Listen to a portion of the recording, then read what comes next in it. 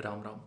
सरकारी नौकरी की जो तैयारी होती है मतलब जब भी तुम सरकारी नौकरी की तैयारी करते हो, तुमने एक साल करी है, दो साल करी है, ढाई साल करी, जितने दिन भी करी है। ये वो तैयारी है जिसमें तुम, तुम्हारी ज़िंदगी यहाँ से पूरी तरीके से बदल बदलने वाली है। चाहे तुम्हारी नौकरी लग रही हो या ना लग रही हो, अभी मतलब लगी हो या ना लगी हो कोई मैटर नहीं करता है। अगर तुमने शिद्दत के साथ डेढ़ दो साल दिए हैं इस तैयारी में, यकीन मानो यहाँ से तुम्हारी ज़िंदगी बदल रही है। और ये बिल्कुल फैक्ट है और कैसे हम वो समझाते हैं? सबसे पहली चीज़, देखो, अगर ज़िंदगी में आगे चीज़ें जो भी करनी है हमें, उसमें सबसे मेन चीज़ क्या है? हर चीज़ जो चाहिए हमें, वो कहाँ से मिलेगी?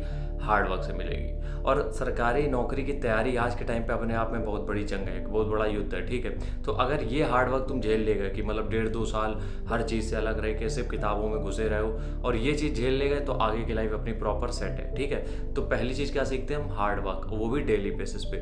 दूसरी चीज़ क्या सीखते हैं हम लोग? डिटैचमेंट मतलब लोगों से अलग कैसे होना है? क्योंकि देखो, ये हसब के साथ होता है यार कि अगर तुम सरकारी नौकरी की तैयारी कर रहे हो तो तुम लोगों से अलग तो हो रहे हो। क्योंकि अगर तुम सबको समय दे रहे हो तो तुम पढ़ाई में समय नहीं दे पाओगे। और अगर तुम पढ़ाई में समय दे रहे हो, इसका मतलब तुम डिटैच हो रहे हो लोगों से मतलब लोगों से दूर हो रहे हो। कुछ ना कुछ लोगों को तो डिलीट करना पड़ेगा अपनी लाइफ से। तो दूसरी चीज़ क्या सीखते हो? डिटैचमेंट और यकीन मानो जैसे जैसे आगे बढ़ोगे, लोग कम होंगे, ठीक है? लोग कम होंगे तो तकलीफ़ होगी। उस तकलीफ़ से झेलने के लिए पढ़ाई काम आ जाएगी, ठीक है? तीसरी चीज़ तीसरी सबसे मेन चीज़ जो है, जब तुम पढ़ाई करते हो ना तो तुम्हारा बुद्धि खुल जाती है, समझो?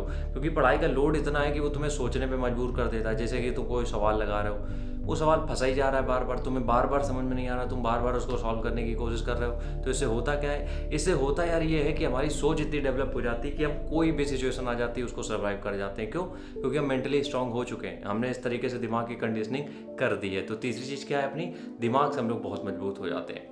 और चौथी और आखिरी चीज़ ये है कि जब हमें ये पता है कि इस चीज़ का रिज़ल्ट बिल्कुल अनसर्टेनिटी है कि मतलब ये पता नहीं नौकरी लगेगी कि नहीं लगेगी, फिर भी हम पूरी शिद्दत से उसमें लगे रहते हैं, जबकि हमें नहीं पता है कि नौकरी लग पाएगी कि नहीं। तो इससे क्या बढ़ता है? इससे बढ़ता है रिस्क लेने की क्षमता। तो सरकारी नौकरी की तैयारी इसीलिए कहा जाता है चाहे वो तुम किसी भी लेवल की तैयारी कर रहे हो, सरकारी नौकरी की तैयारी अपने आप में ही एक बहुत बड़ी मतलब समझ रहे हो? एक बहुत बड़ी जंग तुम जीत लेते हो अपने आप में ही अगर तुम सरकारी नौकरी की तैयारी कर रहे हो। तो कहने का मतलब ये है कि जितने भी टाइम में तुम तैयारी कर रहे हो, डेढ़ साल दे रहे हो, दो साल दे रहे हो, एक साल दे रहे हो नो मैटर लेकिन जितना भी टाइम दे रहे हो, उसको इतनी शिद्दत से वो टाइम देना है कि तुम्हें आगे चल के इसके जितने भी बेनिफिट है वो तुम्हें मिल जाए। तो ये तैयारी तभी काम आती है जब तुम इसको पूरी लगन से मतलब एक साल जो है तुम्हारे पास, पूरी शिद्दत से इसमें लगते हो, तब मज़ा आता तो इसलिए जब भी तैयारी करो, जितना भी टाइम करो, उतने मतलब एक डेढ़ साल बिल्कुल सारी चीज़ों से कट ऑफ़ करके सिर्फ़ पढ़ाई पे फोकस करो, ताकि ज़्यादा से ज़्यादा तुम अपने आप को ग्रो कर पाओ। राम राम, जय हिंद।